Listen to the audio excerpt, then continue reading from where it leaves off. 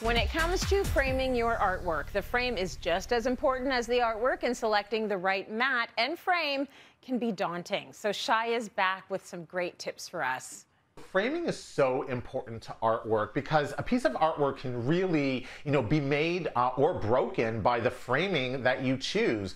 I think one of the really key things that people seem to sometimes forget is the frame is part of the artwork uh, composition, if you will, once you put everything together. So it's really important to, you know, pick the right frame, pick the right matting, and we're going to talk about all of that right now.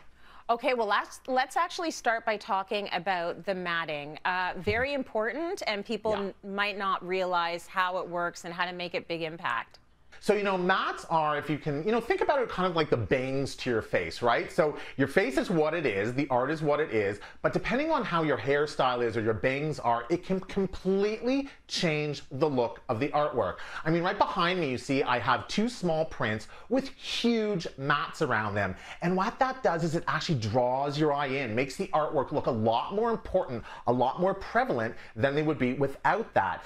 But the thing to understand about the mats trace is that there are so many different kinds. The least expensive type of mat that you're going to find is going to be like uh, paper mats. So paper mats are the least expensive. The problem with paper mats is, is that they're acidic. So, you know, when you uh, uh, frame a piece and you have the mat around it, what tends to happen over time is that the artwork tends to yellow because the acidity in the mat yellows the artwork. If you have a bigger budget, is there a mat that you would suggest? Acidic mats tend to be those mats that you get in the frames that you buy in the big box stores, so they're already matted.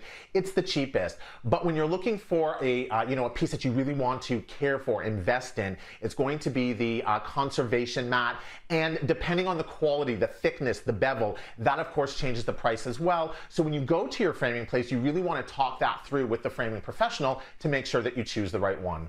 So mats and colors. You know, Trace, I have this one piece here, which is an espresso print of this particular piece in different mats and in different frames, you can see how just changing the mat really completely changes the look of the entire piece. Now let's get to the frames. What do we need to know? The one thing that I want people to realize and understand and really kind of put inside their minds when they're out for framing is you choose a frame for the artwork, not for your home or not for the rest of the frames in the house. That's so, so important. You don't get your hair cut so that you look good next to Leo. You get your hair cut so you look good next to you. It frames your face, right? Think about it that way. So you really want the frame to speak to the piece. Now, the frame should always be smaller than the mat that kind of draws your eye in again.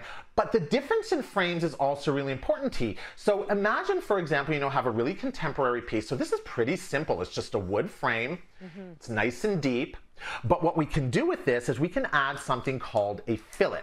So when you're out and you're framing professional, ask them about fillets. Fillets are, they almost look like small frames like this.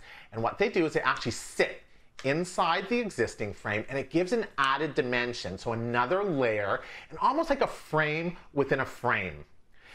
And depending on the artwork, of course, you know, let's say, for example, you have a really modern home, but this piece of artwork that you're wanting to frame is quite traditional. So what do you do? You know, you may think, well, I don't want to put a traditional frame up in my home. Nowadays, I mean, there are so many different options that you can go for. So look at a frame like this, T. This has the beautiful detail that a more traditional frame has, but if you look at it, it's in a very high gloss white. So that gives it a really modern feel. So this is a way to kind of answer, you know, the, in terms of do I need it for, uh, you know, do I want it to look traditional, but I also need it to work with my design concept. These are all things that you want to think about. And then the last, last, last thing, T, that I want to talk about is, of course, glass. This is a big one.